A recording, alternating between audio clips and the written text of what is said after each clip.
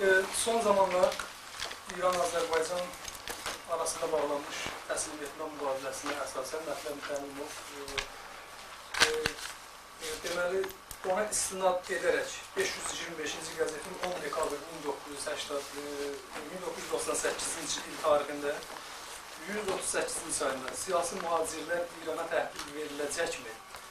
E, belə bir yazıda, yəni başlıqlı yazıda həm öz müsahibəsində orada bildirmişdir ki, Firuz Dilənçi və bir neçə nəfər müəyyən adı çəkilməyən adamlar e, cinayət kimi İrana təhvil verilməlidir. Yəni, artıq bu siyasi mühacirləri cinayətkar adlandıraraq İrana təhvil verilməsini vurulamışdır.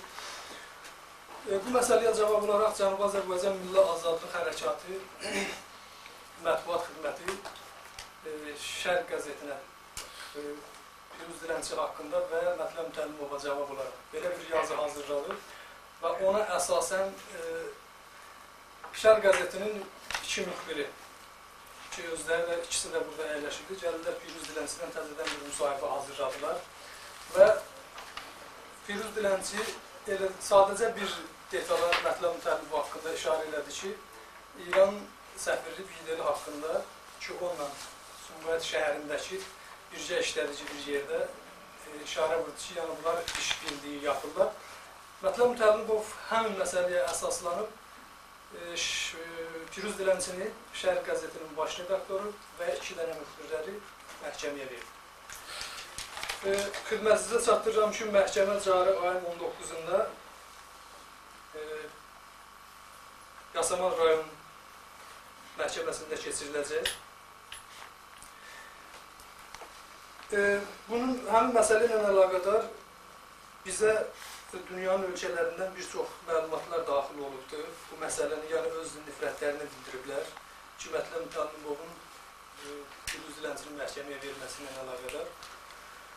Bu məlumatlar Almaniyanın Bonn və Koln şəhərindən e, əgər qeyd edirsinizsə, mən yavaş-yavaş deyim ki, İsveçin Malmö və Stockholm şəhərindən, Londondan, Amerikanın və Kanadanın Toronto, Montreal və Vaşinqton və Edmonton şəhərlərindəki kültür və mədəniyyət ucaqları, eləcə də Amerikada Azərbaycan Səsi Radiosu redaksiyası, Təbrizdən Güney Azərbaycan Azadlıq Partiyası, ABŞ-dan və Dünya ABŞ-dan Dünya Azərbaycanlıları Konqresinin sədri Əmircan Əzmi cənabları tərəfindən e, bu məsələni məhkum eləmək üçün və öz nifrətlərini bildirmək üçün e, ki, burada mən çox zatları da sadalamıram, müraciət edirlər və məhkum edirlər belə bir məsələni e, sizə bir əziyyət verib çağırtdırmaqda hədəf bu məsələlər və bir əlavə e, Müyünzadə ki, son zamanlar Azərbaycan mətbuatında onun haqqında sensasiyalar gedir.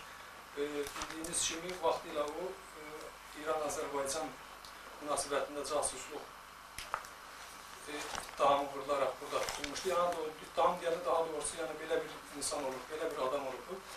Və Mətləb Mütəllimovun e, onun vasitəsilə Azərbaycandan qaçırılıb, onun köməyi ilə qaçırılıb. Bu haqda e, müəyyən faktlar var və ciddi, çox ciddi məsələdir, xüsusən sonra Azərbaycan-İran münasibətləri ki, son vaxtlar daha doğru ciddiləşir və kəskinləşir və belə bir insanların Cənubi Azərbaycan Milli Azadlıq Hərəkatı e, özünə borc bilir ki, belə məsələləri vaxtı-vaxtında açıqlayan və siz jurnalistlərin nəzərinə çatdırır. E, həmin məsələ ilə bağlı Cavahın lideri Firuz bəy Dilənçiyə mən söz verirəm. Bu haqda lazım olan öz münasibətini bildirəcək və sizin suallara cavab verəcək. Firuz bəy bunu. Mən zəhmət çəkib gəldiyinizə görə təşəkkürümü bildirirəm. Bilirsiniz, Cavab bəy bəzi məsələlərə işarə elədi. Amma deyilməyən daha yəni əsaslı tutarlı faktlar burada var ki, indi açıqlayacaq sən xidmətinizə. Mən əvvəl e, icazə istəyirəm ki, müinzadə deyilən tərif barədə sizə məlumat verim e, və sonra Mətləb Mütəllibovun Millət Məclisi, e, Millət Vəkili Mətləb Mütəllibovun onu e, nə səbəbdən dəstəklədiyini də və onun e, azadlığı barədə vəsasət qaldığı barədə biz əldə etdiyimiz və ümumiyyətlə açılmayan, amma bizim açıq, əldə etdiyimiz məlumatı açıqlayacağım sizə. Deməli, Əbülhəsən Sadıqoğlu Müyünzadə 1942-ci ildə Təbriz şəhərində anadan olubdur Əskəri xidmətini İran Daxili İşlər Nazirliyində başa vurubdu, şəhər polisində. Ali təhsilini da, e, Rusiyada davam etdirib. 1969-cu ildə İrana e, yenidən İrana geri qayıdıbdı. 1980-ci ildə İranda işlədiyi yerdə təqaüdə çıxıb, sonra isə Fransaya köçübdür. Bir az, yəni bir ildən az bir müddət Fransada qaldıqdan sonra Avstriyaya köçüb və orada siyasi sığınacaq alıbdır o vaxt. 90-cı ildə ilk dəfə olaraq 90-cı ildə Bakıya gəlibdir. Əlbəttə 90-cı ildə Bakıya Vətən Cəmiyyətinin dəvəti ilə gəlibdir bizim araşdırdığımıza görə və ilk səfərində 90-cı ildə 15 gün Bakıda qalıbdır. Bundan sonra, yəni ilk gəlişindən sonra 90-cı ildən sonra Bakıda qurduğu əlaqələr e, nəticəsi olaraq e, artıq Azərbaycana tez-tez səfər edibdir və bir para e, işgüzar e, əlaqələr yaradıb burada. Əlbəttə işgüzar əlaqələr e, pərdə imiş. Onun e, burada İran Təhlükəsizlik Xidmətinin e, Azərbaycanda tapşırıqlarını yerinə yetirmə niyyəti ilə gəldiyi sonradan aydın olubdur. 1997-ci ilin e, dekabr ayında Bakıda Dövlət Əmlak Komitəsinin rəhbər işçilərindən birinə rüşvət verərkən Milli Təhlükəsizlik Nazirliyinin əməkdaşları tərəfindən həbs olunubdur. Həbsdən öncə, yəni həbs zamanı o e, İranın Azərbaycandakı tacirlər və iş adamları birliyinin sədri vəzifəsində işləyirmiş e, həmin adını çəkdiyimiz təşkilat, yəni İranın Azərbaycandakı Tacirlər Birliyi də birbaşa İran səfirliyinin nəzarətində olan bir təşkilatdır. Daha doğrusu İranın Azərbaycandakı casusxanalarından biridir. E, Əbülhəsən Müinzadə də tutulduğu zaman, yəni 97-ci ilin dekabrında rüşvət verərkən MT-nin işçiləri tərəfindən həbsə alındığı zaman həmin təşkilatın sədri vəzifəsində işləyirmiş.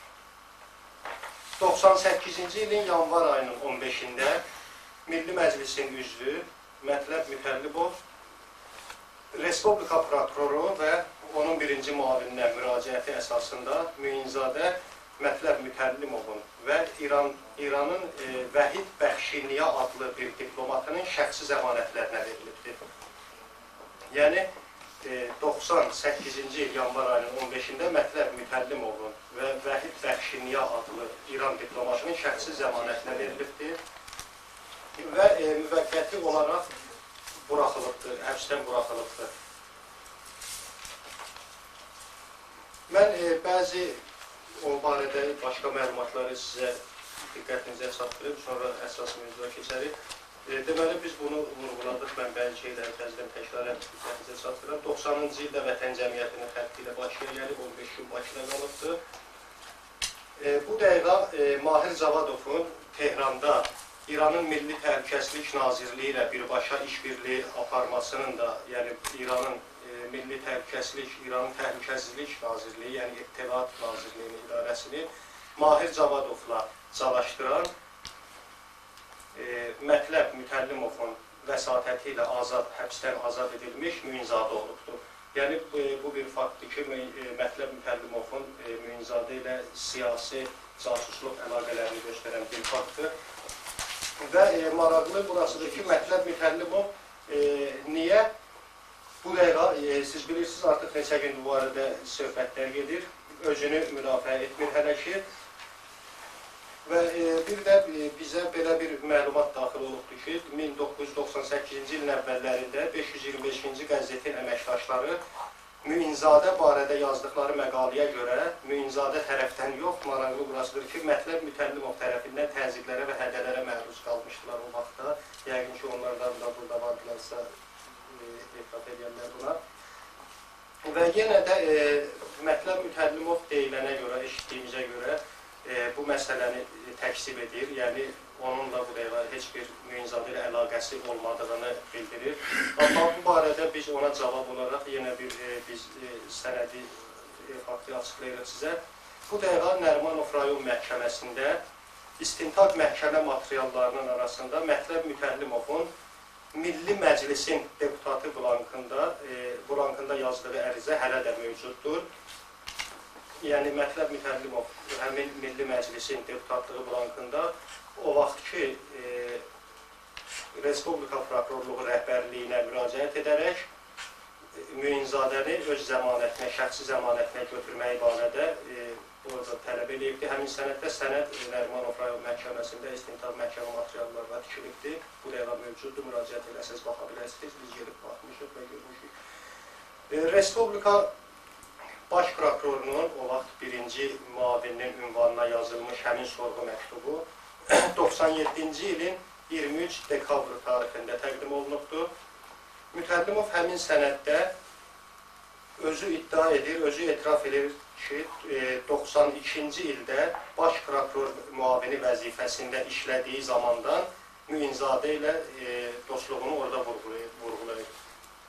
Yəni e, cənab Mütəllimov e, bunu yəqin unudubdur ki, siz bilirsiniz, diplomatik e, hüquq qanunlara görə Respublikanın birinci, ikinci, üçüncü vəzifəsində olan oturan şəxslər, yəni ali orqanların birinci, ikinci, üçüncü yerində oturan şəxslərin xarici e, vətəndaşlarla, xüsusilə belə bir təhlükəli adamla heç rəsmi görüşləri və dostluqları da hətta e, bir müəyyən dərəcədə qadağan qoyulu olaraq. Amma mətləb Mütəllimov 92-ci ildə onunla dostluğunu vurğulayır və e, ona əsasən də o vaxtın e, baş prokurorundan Müinzadənin azadlığını və yaxud onun Mütəllimovun şəxsi zəmanətinə götürülməsini xahiş edir. 98-ci ilin 15 yanvarında Müinzadə haqqında həbs qəti imkan tədbiri həmin müraciət əsasında dəyişdirilir və nəhayət o azadlığa buraxılır. Əlbəttə, e, bu yalnız indi bunu ola bilər e, müəyyən diplomatik əlaqələrə görə bizim e, Azərbaycan Respublikasının rəsmiləri, yəni rəsmi Bakı bəzi bir çox şeyləri də açıqlamır, amma bizim təşkilatın əlində bir çox sənədlər, sübutlar vardı ki, o vaxt e, İran səfiri Mətləb Mütəllimovla birlikdə 10 dəfəyə yaxın Milli Təhlükəsizlik Nazirinə və Respublikanın baş prokuroruna müraciət edirlər və e, Mətləb Mütəllimovla İran səfiri Müinzadənin azadlığını tələb edirlər. və hətta iş o yerə gəlir çatır ki, çatır ki, İran prezidenti birbaşa Azərbaycan prezidenti ilə telefon əlaqəsinə girir və Müinzadənin azadlığını tələb edir. Və e, həmin tələbdə siz bilirsiniz, e, İranın da həmişə Azərbaycana qarşı olduğu təzyiqləri vardı və e, həmin İran prezidentinin Azərbaycan prezidentinə telefon danışığında Müinzadənin azadlığını tələb edərkən müxtəlif təzyiqlərin e, göstərməkdə olduğunu da vurğulayır İran prezidenti. Yəni e, təbii ki, yalnız mətləb Mütəllibovun tutaq ki, nüfuzu dairəsində bu azad olunmayıbdır. İranın e, rəsmi Tehranın rəsmi Bakıya olan təzyiqləri də bunda təsir edibdir. Və e, buna əsasən, yəni mətləb Mütəllimovun e, müraciətinə əsasən məhkəmənin e, məhkəmə qərarı, məhkəmənin qərarına əsasən Müinzadə 5 il müddətinə azadlıqdan məh e, məhrum olunmağa məhkum olunur. E, sonra mətləb Mütəllimovun deputat blankında verdiyi sorğuya və ərizəyə və xahişə əsasən e, prezidentin o vaxt verdiyi növbəti amnistiyaya, yəni əffə e, şamil olmadığı halda, yəni həmin maddələr, həmin bəndlər prezidentin növbəti əffinə şamil olmadığı halda Müinzadə çox belə sirli bir halda e, Müinzadəyə əfvi tətbiq edirlər və həbsdən Müinzadəni buraxırlar. Və buraxılan kimin dərhal Müinzadə İran səfiri və Mətləb Mütəllimovun vasitəsilə İrana göndərilir. Çünki o e, həbsdən buraxılanda az, e, müvəqqəti buraxılışı qeyd olunub onun buraxılışı üstündə və Bakı şəhərini tərk etməmək şərti ilə. Və sonra araşdırmalar nəticəsində məlum olur ki, e, bunun İrana get, e, getməsi ilə əlaqədar Mətləb Mütəllimov e, deputatlıq statusundan istifadə edərək Bakı hava limanında deputatlara, diplomatlara xas olan qapıdan həmin bəyi, yəni İranın casusu Müyünzadəni keçirdilər təyyarənin içinə. E, bunlardan başqa, bunu da mən qeyd eləmə, e, qeyd etmək lazım bilirəm ki, e, Müyünzadənin əffə salındığına görə, yəni qeyri-qanuni əməllərindən tutaq ki, o vaxt e, güya e, mətləb mütəllimov verdiyi ərizədə, verdiyi xahişdə belə qeyd edir ki, güya e, bunun az yaşlı uşağı avara qalıb, sahibsiz qalıb Azərbaycanda və bildirir ki, Mətləb Mütəllibov gedib baxa bilərsiniz. Nərimanov bu dəqiqə e, siz məhkəməsində artıqda mövcuddur.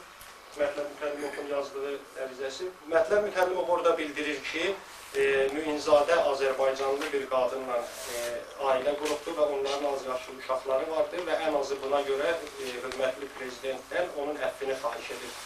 Halbuki Müinzadə Azərbaycandan qaçandan sonra, sonra e, bu araşdırılıb və üzə çıxarılıb ki, e, Müinzadənin nəinki uşağı yox imiş, hətta Azərbaycanda, e, nəinki Azərbaycanda, dünyanın heç bir yerində qanuni e, nigahı da yox imiş onun. Yalnız e, Sumqayıt şəhər sakini olan bir Azərbaycan vətəndaşı olan bir 27 yaşlı bir qadın, biz onun adını e, həmin bizim e, vətəndaşımızın, yəni həmin xanımın e, şərəfinin və ləyaqətinin qorumaq naminə biz onun adını açıqlamırıq. Həmin qadın 27 yaşı vardır, Sumqayıt şəhərində yaşayır və sonra məlum olur ki, həmin qadın da qeyri-qanuni olaraq e, qeyri-qanuni halda mətləb e, Münzadə ilə yaşayırmış və həmin qadını da e, Mətləb Mütəllimov Sumqayıtda texnikov müəllimi işlədiyi zaman tanıdığına görə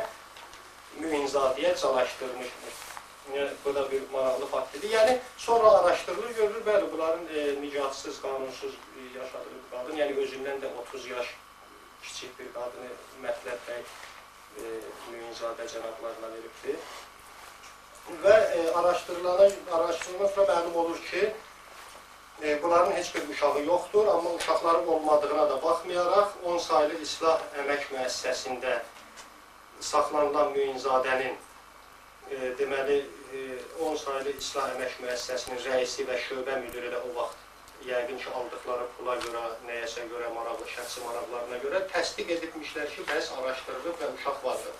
Hal-hazırda e, nəzərinizə çatdırıram ki, həmin 10 saylı İslah Əmək Müəssisəsinin rəisi və şöbə müdiri də həmin ittihamla işdən çıxarılıblar. Yəni, e, burada bir çox adamların əlli olduğu yavaş-yavaş üzə çıxır. Və Müinzadənin e, doğma əmisi oğlu Cavad Müinzadə də İran Təhlükəsizlik İdarəsinin Kəşfiyyat şöbəsinin yüksək səviyyəli ali rütbəli işçisidir. Və e, bilirsiniz ki, son vaxtlar e, Mətləb Mütəllimov e, İran-Azərbaycan arasında bağlanan hüquqi müqavilənin yəni üstündən neçə gün keçmədən e, belə bir iddiada bulunub ki, bəli, həqiqətən də Azərbaycanda yaşayan cənublular cinayətkarlardılar e, və başda da mənim adımı qeyd edibdir və bunlar İrana təhvil verilməlidirlər. İndi bizə aydın olur ki, e, Mətləb bəyin bir casusu, İran casusunu, Azərbaycan düşmənini e, zindandan, ustaqdan azad edilməsinə, vəsatət qaldırmağı və tərsinə bizi Fars şüvanizminin qanlı caynağına təhvil verilməsi barədə vəsatət qaldırır, nə ilə əlaqədar olduğu indi yavaş-yavaş çıxır. Və e, mən sizə bir şeydə diqqətinizə çatdırım ki, İran səfirliyinin mətbuat xidməti Müinzadənin güya casus olmadığı, İranın təhlükəsizlik orqanlarına aid olmadığını vurğulayır. E, bu belə olmasaydı, siz bilirsiniz, bu dəqiqə Azərbaycan Respublikasının islah əmək müəssisələrində, zindanlarında yüzə yaxın İran vətəndaşı, istər Fars, istər Cənubi Azərbaycanlı həbsdədirlər. Bunlar müxtəlif cinayətlər törətdiklərinə görə həbsə alınıblar. Bunların bu yüzə yaxın İran vətəndaşının heç biri barədə heç bir vəsatət nə İran tərəfindən, nə heç bir tərəfindən qaldırılmır, heç bir kəsə də xahiş olunmur. Amma necə olur ki, Müinzadəni e, şəxsən İranın prezidenti Azərbaycan prezidentindən tələb edir. Bu da yəni biz bunları sadalamaqda biz e, bunu e, Müinzadənin İran təhlükəsizlik orqanının bilavasitə əməkdaşı olduğunu sübuta yetirmək istəyirik. Bundan sonra e, suallarınıza barədə cavab verəcəyik biz nə olsa və e, e, yəni sübut edəcəyik. Və sübut edəndən sonra biz, e, yəni Müinzadə bizi maraqlandırmır, o artıq casusluyuzda həbsdə qalındı və ölkədən də qaçdı. Və bizə maraqlı Mətləb Mütəllimovdur. Yəni Mətləb Mütəllimov niyə e, İran casusunun Azərbaycandan qaçırdılmasında marağı nəymiş? Və e, bir məsələni də mən diqqətinizə çatdırım ki, bu dəqiqə Mətləb Mütəllimovun partiyası yerləşən e, üç mərtəbəli bir binanın ikinci mərtəbəsi, iki mərtəbəsi Mətləb Mütəllimovun e, şəxsi sərəncamındadır və həmin e, Mətləb bəy həmin sərəncamında olan iki mərtəbənin bir mərtəbəsini Müinzadənin rəhbərlik etdiyi həmin casusxananın səlahiyyətinə veribdir. Bu dəqiqədə həmin təşkilat orada otururlar, Elmlər Akademiyasının yanındadır. Yəni mətləb müəllim nə marağı var ki, dövlətin dövlətə xas olan iki mərtəbəli binanın mətləbin sərəncamında olduğundan istifadə edib e, Müinzadə adlı casusun başçılıq etdiyi təşkilata verib. Bu da başqa bir fakt, faktdır. Və e, biz yəni edəcəyimiz söhbətlər bu qədər idi, amma e, bu gün səhər bizim yəni Cənubi Azərbaycan Milli Azadlıq Hərəkatının Cənub Komitəsi çox ciddi və operativ bu dəqiqə bu işlə məşğuldular. E, bizə ardıcıl məlumatlar gəlir, xüsusilə Mahir Cavadovla bağlı və e, yəqin çoxlarınıza da aydındır. Son vaxtlar e, Mahir Cavadov Azərbaycandakı müsahibələrində, Butaya verdiyi müsahibələrində e, İranda öz əlaqə telefonunu açıqlamışdı Mahir Cavadov. Onun əlaqə telefonu Tehran şəhərində 874 58 78 idi. E, bu əlbəttə bu nömrəni vermək elə bir şeylə kəşf eləmək deyil. Mən nömrəni bir daha təkrar edirəm. Yəni zəng açıb maraqlanıb öyrənə bilərsiniz. 874 58 78-dir. Mahir Cavadovun e, Tehrandakı özünün elan etdiyi nömrə. Və bu gün e, səhər, bulaşı vaxtı ilə səhər e, bizim Camahın Cənub Komitəsi, Təşkilatın Cənub Komitəsindən bizə e, yeni bir faktı verdilər. Deməli, həmin e, ev Mahir Zavadovun verdiyi nömrəni araşdırıblar bizim Təşkilatın Cənub Komitəsindən və məlum olub ki, e, Mahir Zavadovun həmin nömrəsi Mətləb Mütəllibovun azadlığa buraxdırdığı Müinzadənin ev nömrəsidir. Yəni bu dəqiqə mən nömrəni də verdim. Bu elə gizli bir şey də deyil, hamı aydınlaşdıra bilər. 874 58 78 Mahir Zavadov bu, bu nömrədə yaşayır. Bu nömrə də Müinzadənin şəxsi ev nömrəsidir. Yəni belə çıxır ki, e, belə çıxır yox, verilən bu bayaqdan məlumatlarla və bunun qısa bir təhlili ilə məlum olur ki, burada hələ üzdə üzə çıxanı bir üçlük vardır və üçlüyün e, e, üç tərəflərində oturanlar Mətləb Mütəllimov, Müinzadə və Mahir Cavadovdular. Mən tamam məsuliyyətlə bunu öhdəmə götürürəm və e, deməli araşdırmalar biz tərəfdən çox ciddi və çox operativ davam edir. Araşdırmalar və bizim əlimizdə başqa, hələ bizim öz tərəfimizdən də təsdiq olunmamış məlumatlar bizdə vardı. Bunlar, e, mən inanıram ki, yaxın iki gün ərzində bu başqa məlumatlarda təsdiq olunacaqlar və sonra biz bunları yayınlayacağıq. Bu qədər mənim deyəcəyim. İndi başqa bir sual varsa, biz cavab verməyə hazırıq. Firuz bəy, siz dediniz ki, prezident müraciət edin. Bu sizlə dəqiqdir, nə dərəcədə Bilirsiniz, e, bizim təşkilat Azərbaycan Respublikasında qeyri-rəsmi fəaliyyət göstərir yəni heç bir qeydiyyatdan keçməyibdir. Ona baxmayaraq biz fəaliyyətimizi axıra qədər davam etdirəcəyik və bəlkə də e, bizim e, Azərbaycan Respublikasından başqa e, Cənubi Azərbaycan içində olmaq şərti ilə 8 başqa ölkədə bizim komitələrimiz fəaliyyət göstərir və biz buna inanırıq ki, bizim e, xaricdəki qüvvələrimizin rəsmi Bakıya təzyiqi nəticəsindədir ki, bizi qeydiyyata almasalar da fəaliyyətimizə maneəviyyət törətmirlər. Amma e, dediyim kimi e, bizim təşkilatın e, operativ qrupları vardır. Onların əldə etdiyi məlumatdır və mən inanıram ki, siz biz tərəfdən bu məlumatın yayınlandığını iddia edərək müraciət etsəniz, biz inanırıq ki, təsdiq olunacaq prezident aparatı tərəfindən.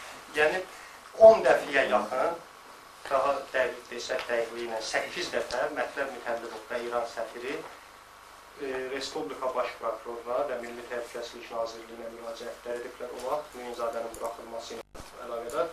Müinzadə burax buraxılmadıqdan sonra İran prezidenti şəxsən Azərbaycan prezidenti ilə telefonlaşıblar və onun azadlığını təzyiq göstərərək tələb ediblər.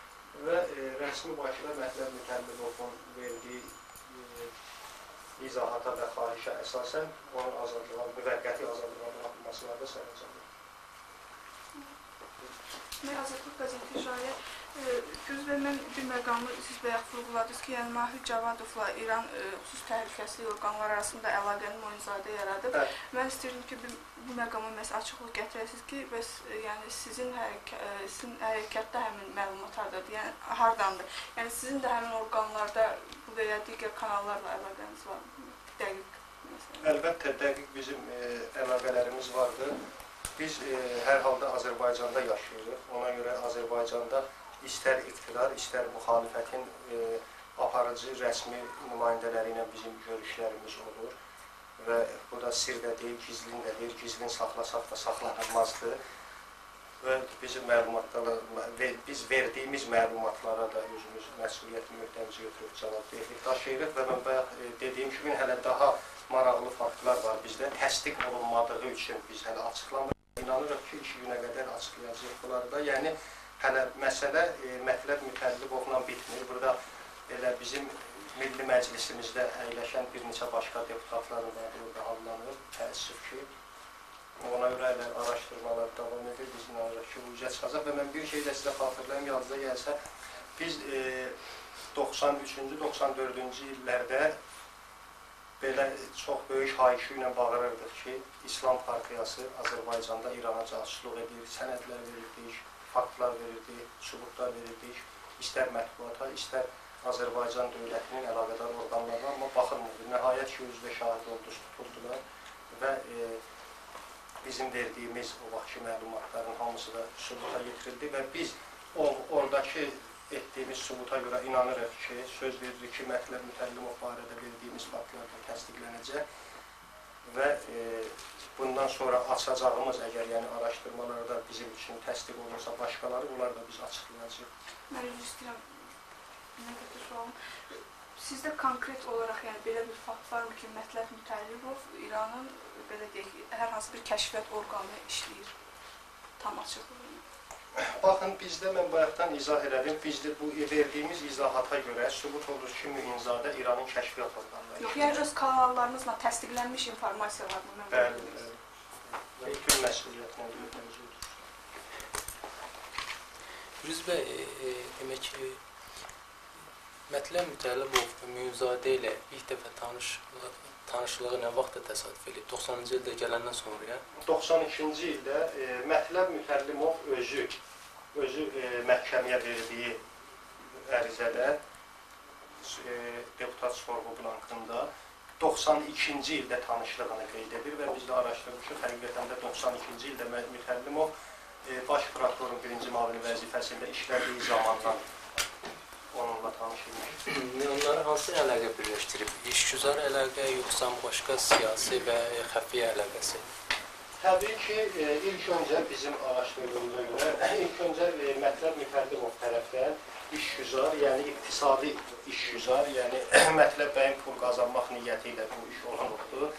Və çünki e, Müinzadə də sonralar burada İranın Azərbaycandakı tacirlər birliğini sərdirmiş və həmin e, işgüzar əlaqədən su istifadə edən Müinzadə Mətləb Mütəllimovu belə bir cinayətə söyləyir. E, Bəs e, sonuncu sualımı vermək. E, Demək ki, Mətləb Mütəllibov e, aydındır, indiki statusu aydındır, Milli Məclisin deputatıdır və e, e, məlumdur ki, bir vaxtlar prokurorunda müavin işləyib. A, hansı rıçaqları ola bilər ki, yəni o, onun təsiri nəticəsində, onun səyi nəticəsində Mühünzadə kimi bir şəxsi, yəni e, uzaqlaşdıra bilsin, yəni məsuliyyətdən azad elə bilsin, zaminə götürə bilsin. Yəni onun bu dərəcə realdırmı bu məsələ, yoxsa bu sadəcə Yox, reallığı bilirsiniz, mən sizə bayaq mənbəyi də qeyd elədim, gedib buraya qədər e, biz öyrənmişik. Və eyni zamanda e, bugün- indiki dövlətin mətləb mütəlibə münasibəti də məlumdur axı. Yəni o bir e, bir fayda olaraq e, müxalifət e, statusunda çıxış edir ki, onu biz də bilirik, siz də bilirsiniz. Mətləb Mütəllibov heç də müxalifətdə deyil. Yəni Mətləb Mütəllibov nə e, keçmiş bizim birillik milli hökumətimizin iqtidarda olduğu dövrdə də o istədiyi vəzifə ona verilmədi və bugünkü iqtidar dövründə də o vəzifə ona verilməyibdi və e, o üzdə ola bilər indi o necə deyirlər, yerlə əsməyi filanı, amma bizim özümüzü, yəni e, məni Şərq qəzetinin baş redaktorunu və redaksiyasını və iki müxbirini məhv verdiyi, məhkəməyə verdiyi iddia ərizəsində də onun e, yəni danışıqları, iddiaları öz imzası ilə iddia üzrəsidir Mətləb bəyin. O da heç onun müxalifətli olduğunu göstərmir. Yəni e, mətbuatın e, mən ondan belə bir yer, mən Mətləb bəyin hərfəsindən bir yeri oxuyum sizə. Belə hesab edirəm, hörmətli hakim, belə hesab edirəm ki, Azərbaycanda hayküy salmağı xoşlayan və dırnaqarası reket rolunu oynayan bəzi qəzetlər dırnaqarası mətbuata son qoyulsun əvəzinə insanların şəxsiyyətinə, təhqirlərinə son qoyulsun şüarı ilə çıxış etsələr daha ədalətli olardı. Yəni bu təzyiqlərə son olsun. Bəli, yəni mətbuata, təzyiqlərə son qoyulsuna qarşı çıxış edir bu bəy. Deməli bu heç də müxalifətdə ola bilməz. Bir daha e, iqtidara, yəni iqtidarı dəstəklədiyini, amma iqtidarın dəstəyini ala bilmədiyini göstərir bu. Bu insidentə qədər sizin e, mətləb olunan hansı əsasdasa konfliktiniz, münaqişəniz olur, yoxsa tanımırdınız Mən bir-birinizi? mətləb mütəllib oxuyub üzünü bir dəfə də görməmişəm, o da mən görməyim, heç tanımıram. Amma biz birinci dəfə ondan deməli o yəni bu təşkilat səviyyəsində aparılan işdən ba- başqa birinci dəfə biz ondan elə bu söz söhbət mətbuat səhifələrinə çıxanda onun iddiasından sonra oldu. Bayaq e, Cavad bəy o tarixi vurğuladı. Onun 525-ci qəzetə verdiyi müsahibədə bildirmişdi ki, İran-Azərbaycan arasında bağlanmış hüquqi müqavilə çox da haqdır və Azərbaycanda olan İranlı cinayətkarlar, cənubi yox, İranlı cinayətkarlar başda üzvləyəçi olmaqla mütləq İrana verilməlidirlər. Ondan sonra bizdə e, artıq qərara gəldi ki, əlimizdə olan məlumatları açıqlayaq. Baxmayaraq ki, bu dəqiqanın özündə də e, rəsmi Bakı tərəfindən bunun açıqlanması, o açıqlanmaması barədə barədə bizə təəccüblənir ki, və e, rəsmi Bakı bunun belə bir dövrə açılmağının heç də tərəfdarı deyil və amma biz hələ dediyim kimi bəzi faktları elə biz saxlamışıq onların təzyiqini ilə. Mən üzr istəyirəm, rəsmi Bakı dediniz, kimlərlə məsləhətləşmələriniz olubdur? Bu məsələnin açılmaması ilə bağlı. Təbii ki, e, onu mətbuata bizim açıqlamağa heç bir səlahiyyətimiz yoxdur, amma mən sizi əmin edə bilərəm ki, e, respublikanın ən rəhbər dairələri ilə və özləri də, yəni qəzetdə elə siz belə dərc eləsəniz, özləri də biləcəklər ki, biz nəzərdə tuturuq. Üzr istəyirəm, siz e, prezidentlərin telefon söhbətinə də toxundunuz, yəni onların əlaqəsi olub bir-biri ilə, yəni İran e, Azərbaycan prezidentinə də tələb edir bunun qaytarmaq. Yəni bu da tam dəqiqləşdirilmiş faktdır. Bu da tam dəqiqləşdirilmişdir. Siz bir daha müraciət edə bilərsiniz. Biz inanırıq təsdiq edəcəklər. Bəli, biz tərəfdən dəqiqləşdirilib. Və mən dediyim kimi bizə olan e, təzyiqlərə görə biz faktların hələ çoxunu açıqlamırıq. Təbii ki, yaxın günlərdə onlar da açıqlanacaq məsləhət olarsa. Mən 525-ci qəzetdən İlham Akasının, yəni o yazılan müəllifəm. Mən amma bir sual vermək istəyirəm. Sizin hazırda Azərbaycandakı hüquqi statusunuz necədir? Yəni siyasi mühacir yoxsa vətəndaşlığı olmayan şəxsi Azərbaycan vətəndaşı? Çünki məqamı istəyirlər. Bəli, mənim daşıdığım pasportun üstündə rus dilində yazılıbdır bez qrajdanstva, yəni vətəndaşlığı olmayan yaşıl pasportdur, vətəndaşlığımız yoxdur bizim. Yəni və deyib ə, bu həmin o vətəndaşlığı olmayan şəxslərin hüquqi statusu haqqında qanuna görə sizdə yəni sizin kimi şəxslər müəyyən deyil məhdudiyyətlər var. Yəni bizə kimi hüquq tam hüquqlu vətəndaşlardan fərqli olaraq. Yəni hansı kütləvi tədbirlərdən təşkilatçılığında sizə yol verildi, Bəli. icazə verilmir. Bəs Azərbaycan deyə indi mətləb təmin müəyyən qədər Azərbaycan rəsmi şəxsləri. Biz Azərbaycan rəsmi şəxslərinə qarşı müəyyən bu cür bəyanat verilməsi, belə bir ə, hüququnuz varmı sizin? Yəni qanunla məhdudlaşdırılmış. Hüquqi qanunlara görə düz deyirsiniz, hələ ki vətəndaşlığımız yoxdur. Bizə vətəndaşlıq verilsələr də, verməsələr də biz özümüzü Azərbaycanlı hesab edirik. Bunu prezident özü də diplomatik dan çıxışlarında bir neçə dəfə bildirib, bir dəfə bildirib ki, Arazın otayı butayı yoxdur. Bir dəfə deyib bütün dünyada Azərbaycan Respublikası bütün dünyada yaşayan Azərbaycanlıların vətəndaşıdır. Bunları vurğulayıbdır prezident. Prezidentin də nə dərəcədə o diplomatik əsaslara, yəni söykəndiyini siz bilirsiniz. Yəni Heydər Əliyev kimi bir şəxsiyyətin ağzından belə bir cümlə çıxırsa, o elə bu deməkdir ki, bizə əlbəttə yəni e, qanuni vətəndaşlıq verməsə də vətəndaş hesab eləyir bizi və biz bu hüququ qanun bizə verməsə də biz öz borcumuz bilirik. Buna görə ki, biz vaxtilə Cənubi Azərbaycanda milli azadlıq uğrunda apardığımız mübarizəni deməli başlayanda və yaxud davam etdirəndə biz onu nəzərə almırdıq ki, haçansa Azərbaycanda Mətləb Mütəllibov kimi bir şəxs rəsmi olaraq bizim əleyhimizə çıxacaq ya çıxmayacaq və e, maraqlı burasıdır ki, bu dəqiqə bütün Avropada və Amerikada yaşayanlara üst tutan da Azərbaycan prezidenti onların hamısını, yəni Azərbaycan diasporasını e, 907-ci maddənin, bəli, düzəlişin, e, maddənin düzəlişinə və yaxud ləğvinin onlardan tələb edir filan deyir. O diasporanı da siz bilməlisiniz ki, 99% cənublulardılar. Yəni deməli o təəssüf məhkəmədə belə bir hal problemlə üzləşmək olmazmı ki, yəni bunu mən həmişə anlayıram. Üzləşə bilməsəm bunu mətləb mütəmməli deyər ki, turistlərin heç bir bu cür danışmağa hüququ yoxdur, haqqı yoxdur. Yox, Yəni, onu məhkəmə deyə olaraq qarşı bilməz. vermiş bir qərar verə bilməzmi həmkarlar? Təəssüf ki, biz mətləb mütəllim oxuyuq, e, üç gündə axtardıq, tapmırıq. Hələ ola bilər ki, o bəlkə də Azərbaycanda deyil, yəni bu sözü də deseyim. Az siz də inandırdım, axtardım, taplasınız. Milli. E, bəli. Və o, yəni əgər elə bir iddianı da məhkəmədə qaldırsaydı, bu əvvəlki iddia ərizəsində qaldırardı. Hələ ki qaldırmayıbdı və məhkəmənin də rəsmi deməli. Ayın 19-da bizi məhkəməyə çağırdı.